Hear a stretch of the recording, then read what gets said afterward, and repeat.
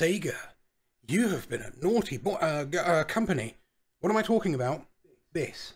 On Wednesday, you randomly announced that on December 6th, 2024, less than a month away at the time of recording this video, you will be delisting Sega Genesis and Mega Drive Classics and the Dreamcast Classics bundle, which includes my beloved Crazy Taxi. Game over. And not just from Steam, no. You're taking Crazy Taxi and all the other mentioned games, 74 in total, away from all the platforms they currently exist on. Meaning, for the first time since its original console release on the Dreamcast, Crazy Taxi will be unavailable on any major platform except Android and iOS. And the less we say about this mess of a port, the better. Seriously, why is pause and drive gear the same button? We got this handy FAQ on Sega support all about the announcement, but it omitted what I'm sure is the number one question people have.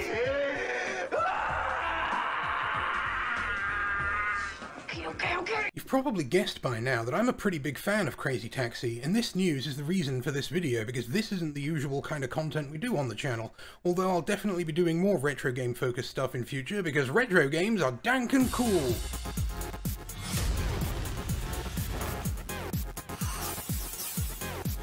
Does that hit you in the nostalgia?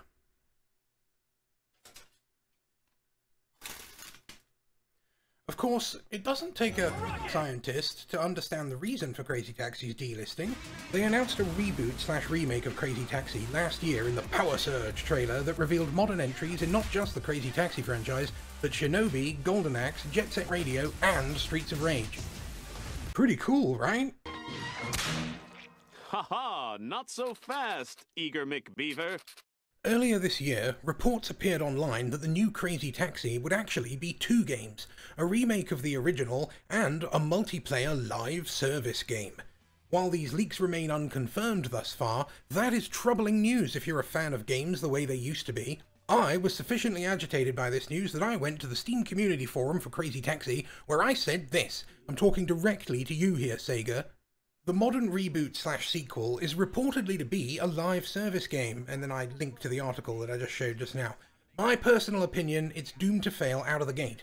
Crazy Taxi was played and loved by an older generation that grew up alongside the games industry in a time before live service was the norm.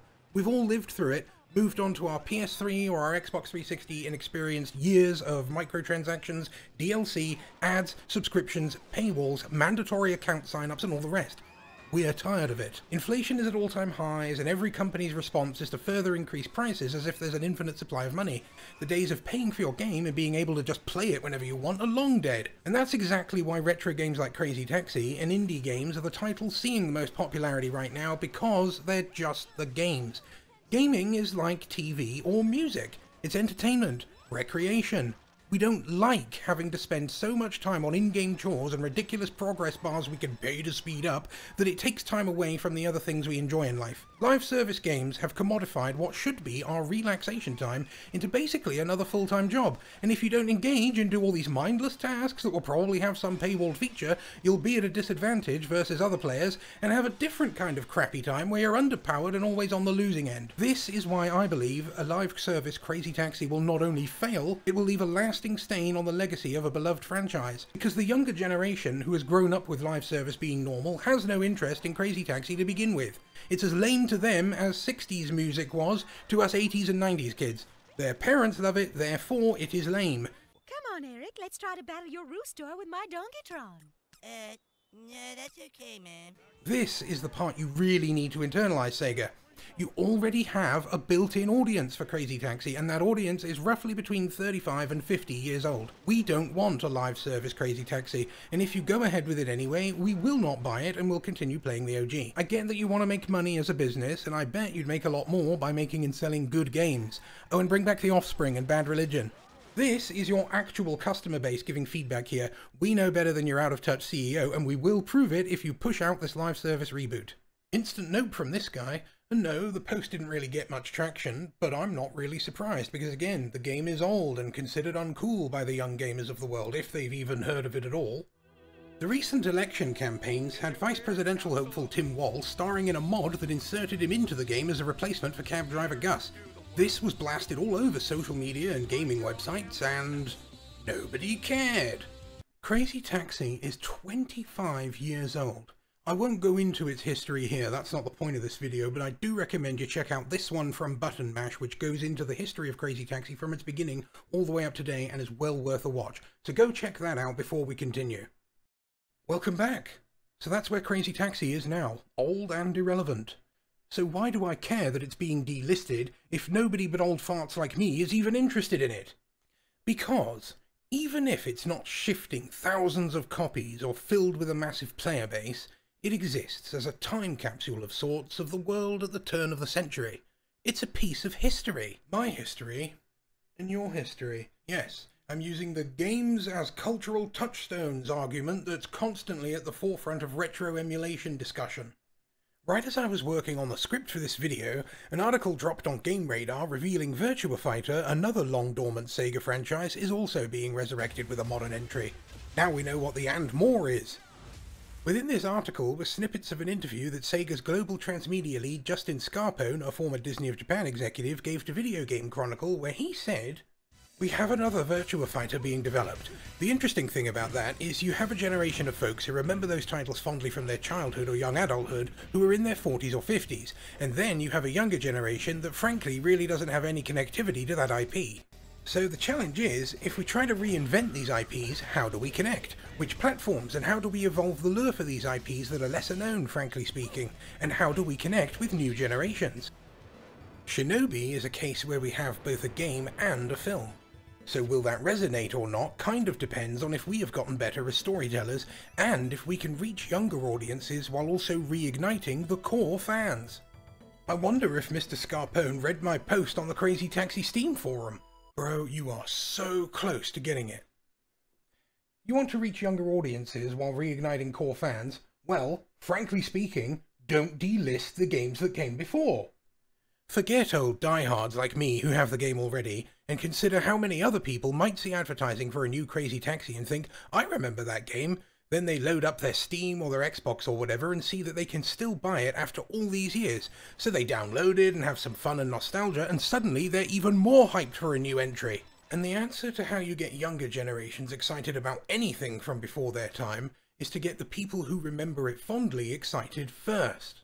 And believe me, live service elements do not excite core fans. They turn us off altogether. I'll put a link in the description to this video from Just Say Steven that gives a much more detailed look at what live service games have done to the modern gaming landscape, and it's worth a watch if you really want to understand the sentiments of older gamers like me. Today's young gamers made their memories in Roblox. Fortnite, Minecraft, and games like that. They never lived in the world Crazy Taxi was born in, and you're right, they have no connection to it.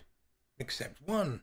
Why do you think Star Wars, Aliens, Predator, Terminator, Star Trek, so many old TV and movie franchises have managed to stay so popular to this day, or return after decades to massive success? Because the people making these things found that their IPs were popular enough they could keep on making these things without taking the things they'd made before away, even if there had been long periods of years between entries.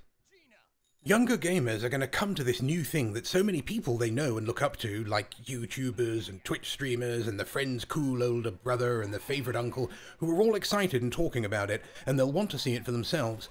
Then, the ones that like it will likely want more and dive into the expanded universes and older content that exists within that franchise. A new fan is born, the same is absolutely true of video games. That's what I mean about cultural touchstones. The old fans remember not just the game, but the world of its time and connect over their shared memories. They can also share those stories with younger gamers in their online and real life spaces and end up finding the common ground that is so often lacking between members of different generations because their formative years happen decades apart in different eras. Books have been doing this for centuries. The Lord of the Rings was published almost 50 years before the Peter Jackson movies, and their arrival became the catalyst for the modern explosion of high fantasy settings in entertainment media, paving the way for countless other adaptations of fantasy works. Movies and TV have been doing it for decades now too. Star Trek launched in 1966, and despite multiple hiatuses over the years, it's kept on bouncing back and kept on picking up new fans. And the video game medium, which has been a mainstream part of everyday life for over 40 years now, is no different.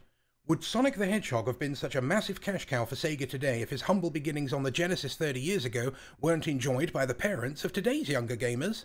Imagine if you released Sonic Forces or Sonic Boom or any of the other questionable Sonic games today without that history. The franchise would have been dead on arrival. The goodwill of three decades of Sonic fans is what has allowed you to keep bringing him back despite these choices. You either die a hero, or you live long enough to see yourself become the villain. What I'm trying to impress upon you here, Sega, is if you haven't already, you are in danger of becoming a villain. You are becoming like so many other video game publishers, locking up their toys because they think it'll harm sales of the next thing they're releasing. I think Terminator 2's release in 1991 showed conclusively that if you make a product that improves over the previous iteration technologically, or expands the story in an interesting way, its sales won't be hurt by the continued existence of its predecessor, and there's no question that that type of success wouldn't have the knock-on effect of driving up interest in sales of the entries that came before from franchise newcomers. Which brings us back to the question of why delist Crazy Taxi and all these other historic Sega games at all, and leaves us with the only conclusion that's logical. You only care about money, and see the games that you've made as consumer products and not as the cultural touchstones that they are. I was a Sega kid. The Mega Drive, Saturn and Dreamcast were the systems I played throughout my teens and early adult years. Crazy Taxi was a big part of that, and along with Sonic, the reason I switched to the GameCube after the Dreamcast's untimely end. I revered the company and the amazing games it made. As a teenager, I dreamed of working at Sega, and never until now would I have imagined you'd become like so many of your peers in the games industry. I got my first clue that Sega was turning to the dark side back in June when Vimm's Lair, a long-standing repository of retro game ROMs and manuals, announced that among other companies, Nintendo of course, Sega had demanded the removal of their games. They had already delisted the original Genesis Sonic games on Steam and other platforms in the lead up to Sonic Origins launch back in 2022, but they had in the past kind of ignored the emulation scene. Sega is now doing what Nintendo does. In fact, they've been doing stuff like this for years. I can remember when I grabbed Sonic Adventure DX on Steam, and all the Game Gear titles were missing. They were there in the GameCube version, and then a decade later they were added back as part of a paid DLC for Sonic Origins. I had always admired Sega for how open and relaxed it was with the Sonic IP. Unlike nasty, mean Nintendo, they didn't shut down fan games and mods. In fact, they actively embraced and encouraged them, which culminated in the 2017 release of Sonic Mania, a complete return to form for the franchise after a rocky decade for the Blue Blur that single-handedly reignited core fans while engaging newcomers too. Are the pieces coming together, Sega? It's the fans that keep franchises alive and healthy. Releasing a new Crazy Taxi with unpopular and unwanted live service elements in it while simultaneously taking away access to the original is, frankly speaking, probably not going to end the way you hope. Even if you bundle it in with the new remake, the current Steam version has completely different music and voices than the beloved original, due of course to the usual music licensing rights twaddle, and people on Steam have supplied the resources to mod it back in. Looking at you as well, Sonic Origins. So the different crappy music version you'd most likely be bundling in with the new one isn't even a selling point for OG players, we're just gonna mod or emulate the old one anyway. Steam godfather Gabe Newell once said piracy is almost always a service problem and not a pricing problem. If the product is good, word will spread, hype will remain, sales will happen, whether the originals are available or not. So seriously, why remove them at all? As a lifelong fan, I am disappointed in you, Sega. No matter the reason or justification for doing this, it's a crappy move and I hope you'll reconsider, although I'm not holding my breath. Frankly speaking, I think the best move you could make to drum up hype for the new Crazy Taxi is to make the original free to play. If you delist it, it's not making you money anyway. So I'll end this video by saying while I'm thankful to Sega for the memories, I'm more thankful for the retro emulation community. Crazy Taxi is in your hands now. See ya. Game over.